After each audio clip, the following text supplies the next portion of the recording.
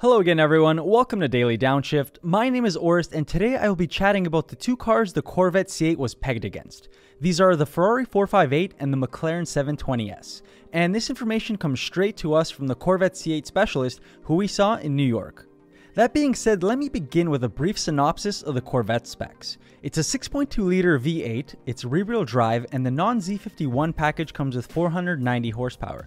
Your 0 to 60 time on that is 3 seconds. But if you get the Z51 package, it ups it to 495 horsepower, and your 0 to 60 time is reduced to 2.9 second.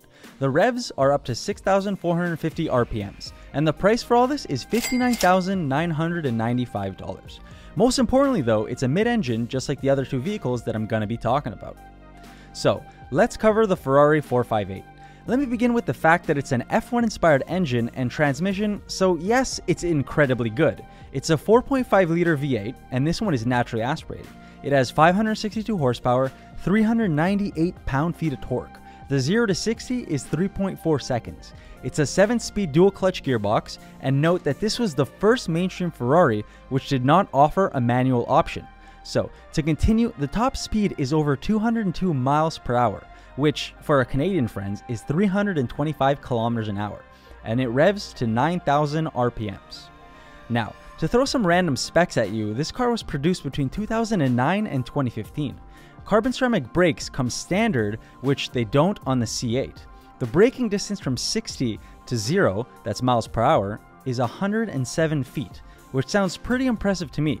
And from preliminary testing, the Corvette C8 has a stopping distance of 115 feet. However, the Z51 package, it comes down to 108 feet, and that's because you get the bigger brake disc. To be honest though, like I said, this is preliminary testing, and this is just what they're reporting. Maybe if Chevrolet actually calls us, we can put this to the test. So let me continue. It has a 20 inch staggered rim setup, while the C8 has a 19 in the front and 20 in the rear, but this is also a staggered setup. The stock audio system on the Ferrari apparently comes with 6 speakers, with an optional 11 speaker JBL upgrade, which some Ferrari owners have noted doesn't even sound that good.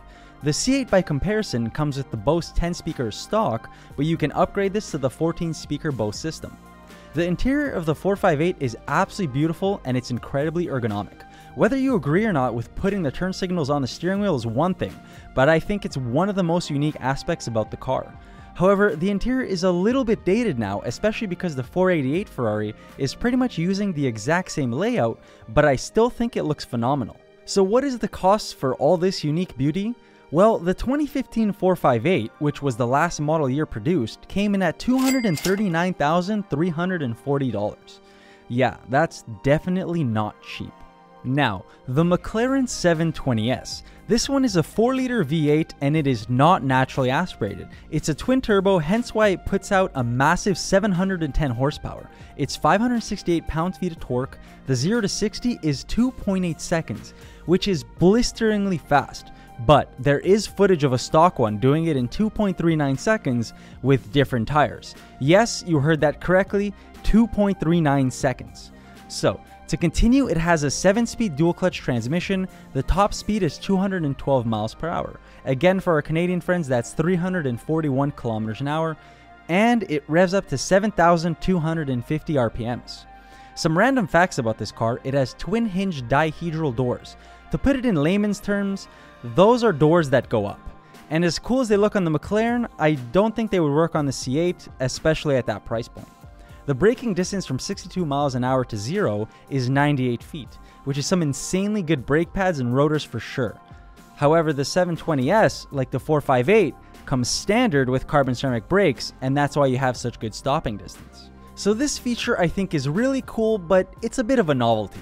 The 720S comes with a folding driver display, and what is that? So in case you don't want a big screen in front of you distracting you when you're racing, you can just fold it down to a smaller display so that you can see only the necessary information. In summary, I think the McLaren is one of the coolest looking cars money can buy right now, but it does come in at $287,245. Not bad, right? That being said, the Ferrari and the McLaren are a quarter million dollars. The options on either of these cars will most likely cost as much, if not more, than a Corvette C8, and probably with the Z51 package. So the fact that the C8 is pegged against these two and has comparable specs is actually quite unbelievable. Chevrolet was not scared to go against the big boys with a much more affordable price tag, and this is very praiseworthy. Kudos to them. I'm really excited to drive one of these when they're out, and Chevrolet, if you're listening, give us a shout. We're more than happy to drive one for you guys anytime. Anyways, that's all from me. As always, thank you for watching, and see you next time.